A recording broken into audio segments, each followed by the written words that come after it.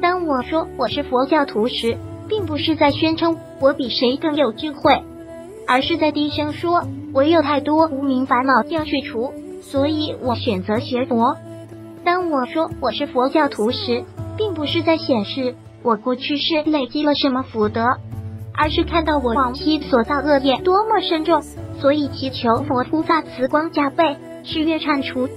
当我说我是佛教徒时，并不是因为我要逃避人世，追求虚无，而是深知日常生活处处是道场，活在当下就是在修行。当我说我是佛教徒时，我的生命并非从此不再遭遇挫折，但是有了佛法相伴，挫折一一转化成助我成长的因缘。当我说我是佛教徒时，我心中充满无尽的感恩。单单想到今生有缘生而为人，具备修行的能力，又有机会遇善知识，得以听闻佛法，就身心感动，因缘不可思议。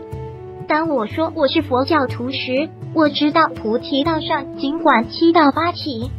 成就佛道却是我生生世世的功课。当我说我是佛教徒，并不是因为外在有一个神，而是我发现了我本具的自心本性。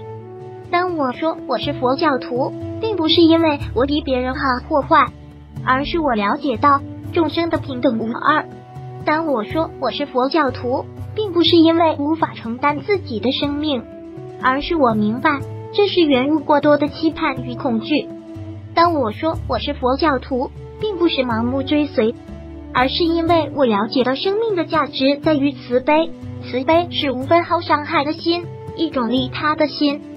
好了，感谢你观看这视频，如果你喜欢它，不要忘记订阅我的频道，下次再见。